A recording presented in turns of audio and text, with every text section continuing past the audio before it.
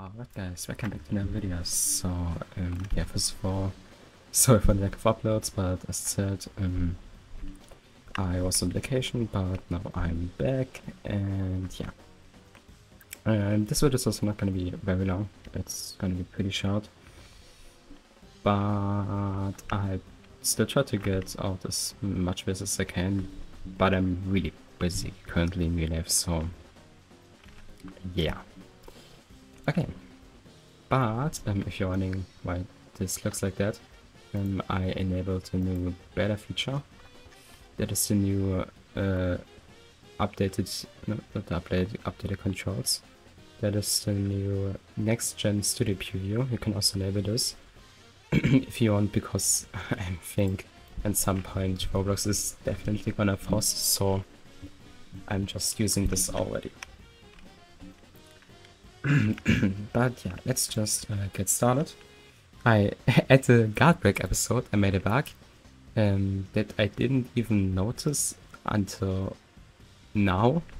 Um, but yeah, we're just gonna fix this. So let's open up our um, blocking module, and in here, in the parrying stuff, we want to remove the is a player here uh, because there's no error when uh, it happens to NPCs, also here. Because um,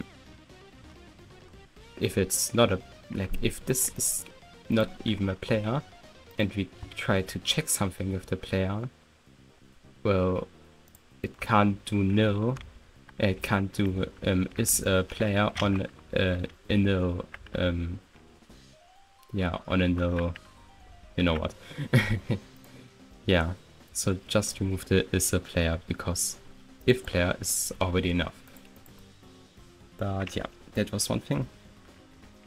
Um, then I also wanted to change something because um, currently there's a really big like um, gap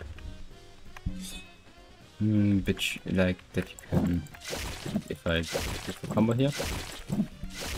And then you can't block for a while. That's because our attacking attribute is still true. And we are waiting for that to go false so that we can block. So we're gonna modify our helpful module. Uh, here we want to add a new thing and that is the swing and then for the blocking, we just want to check for the swing, not for the attacking. Um, yeah. This will just make it so we can block better, I would say. So, uh, look at swinging. Uh, to check at every swing. Then let's also add swing here. And then we can copy this. Is swinging. And swing, then stop. And now we have to replace it uh, at all places where we use this or change it at all places where we use check for attributes. And here uh, in the UI I can just do open scripts or script um, and go to find and then find all. And then I can search for check for attributes in every script. So then I can just click this here and it's going to open up the script. So that is uh, our equipping I wanted to be true here. Um, that is the blocking. I want the... Um, yeah, I don't want it uh, to check for the attacking anymore, so do that false, but I want to check for the swing. So I'm gonna do that true, and then here everything is true too. Okay. Then you can close this again and we can try it out. Mm, at the end of the episode I'm also gonna show a little sneak peek of what uh, is gonna come in the next episode. Uh, let's see if this works. Yep, we can block right after that. We can, yeah, we can also block right after text now, as long as the swing attribute is false. I like this uh, more so we, yeah, we don't have to wait so long um, now for um, blocking. That's just way better in my opinion. But yeah. Um, I also want to do then one more little thing. And that is just also add a highlight to um, the blocking stuff. So we can just copy um, this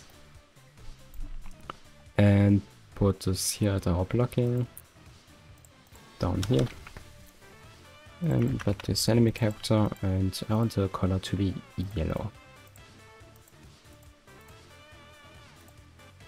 And also just be there for 0.5 seconds.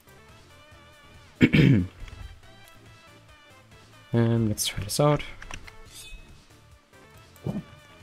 And there it is. Okay. Looks pretty nice. Uh, did I make an error or why aren't they getting... Oh, oh okay. I already thought, but yeah. Um, quick editing in here. I, I, I noticed a thing that uh, for some reason uh, I didn't even do like I don't know why, um, but we never implemented a blocking cooldown for some reason. Um, I mean, we kind of did, but we never used it, so um, let's open your blocking client um, and type here. If is typing or debounce then return and. So we, we never use that debounce for our blocking um, but now it's working. Uh, yeah that was um, something weird Okay, but now I am gonna show you a sneak peek of the next episode. Mm, I'm just gonna drag this here. Alright.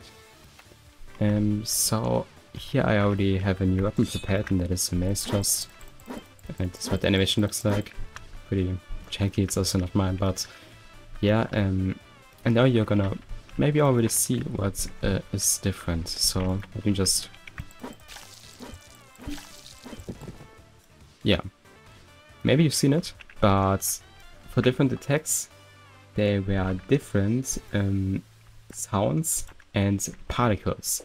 So for the first attack, it's this bloody thing because I hit him with the, yeah, with the mace pretty much. But then at the second hit, it is a fist hit and there's a new sound and new effects. That's pretty much um, what I'm gonna be doing next episode. It's just something uh, I think is really nice. And it's yeah like something new. Um, because now for the fist we also don't have the same blood uh, effect um, as with the sword for, for example. Um, but yeah yeah, um, that's what gonna be uh, we're gonna be doing next episode. Um, yeah, and after that, I will see what I'm gonna be doing. But yeah, there's also just my test place here. Um, yeah, but I'm gonna say you have to do a lot of um, animation exporting next episode again because this has to do uh, with the animations. But yeah, thanks a lot for watching. Have a great day and see ya. Bye.